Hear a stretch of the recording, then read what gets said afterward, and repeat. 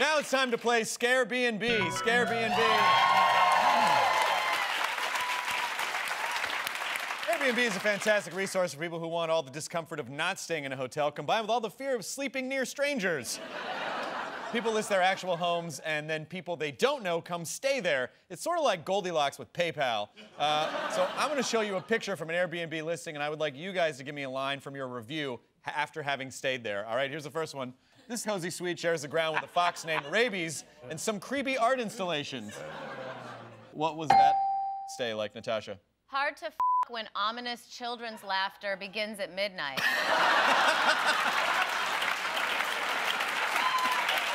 Fun.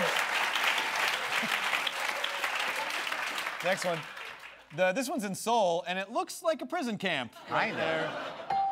There. Oh, do Cells. we- yes, Natasha. Uh, easily the nicest shoe rack I've ever slept in. also, wait, also, I heart the smell of kimchi farts. Ah, Buns. Yeah.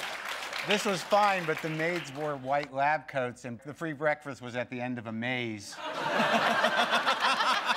Buns. It's for science.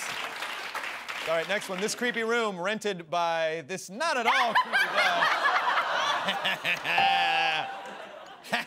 Get you pregnant. Marc. Uh, reasonable rates, but I got tired of putting the lotion in the basket. Buns. he calls it a detached shack toe. That's clever. The room was very spacious, which is nice because the smiling lunatic never leaves the room. He just sits there the whole time and just hangs you. out with you. Hey, you want me to wake you up at any time?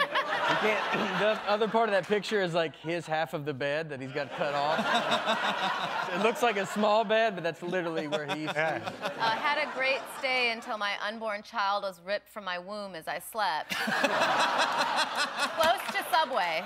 Points. Okay, cool.